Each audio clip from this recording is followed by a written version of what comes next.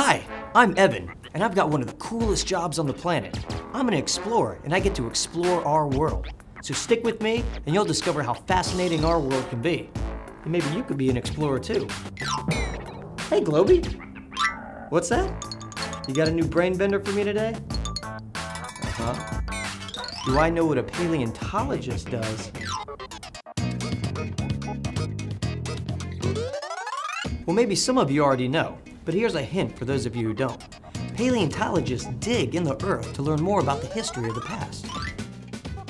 Paleontologists look for prehistoric life forms before human history, like dinosaurs.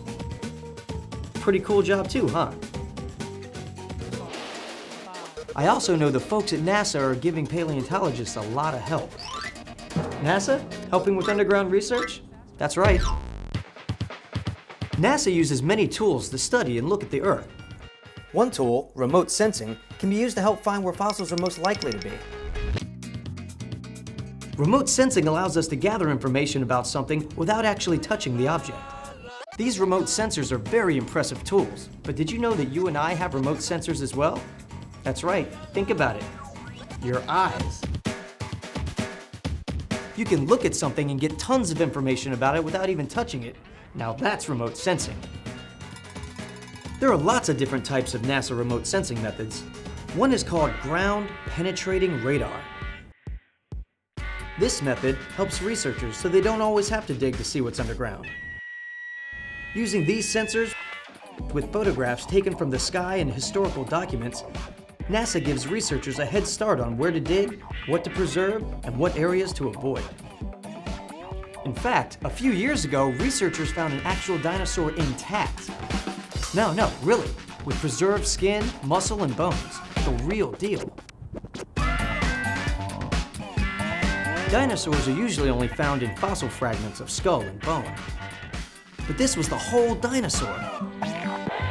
Since dinosaurs lived hundreds of millions of years ago, this was a really amazing find. Back in 1999, a 10th grader named Tyler Lyson was exploring his uncle's property in Bismarck, North Dakota. I'll bet you he didn't expect to discover a mummified hadrosaur. A hadrosaur is a duck-billed dinosaur. They're called duck-billed because their snouts were flat. So I guess you could say they kind of look like the modern duck. In 2004, researchers returned to the site where the hadrosaur had been discovered and used LIDAR to learn more about the site. LIDAR stands for Light Detection and Ranging.